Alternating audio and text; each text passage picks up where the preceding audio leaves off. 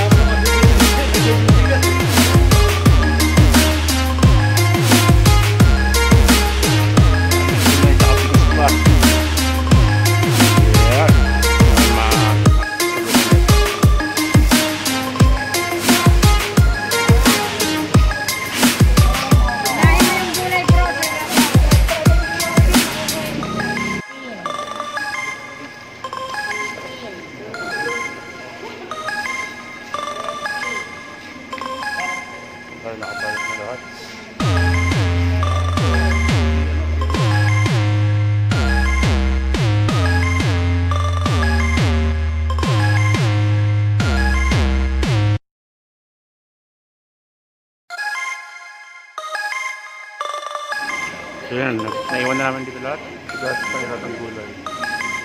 At bukas, siyempre salamat sa Rotary Metro North at Jetro.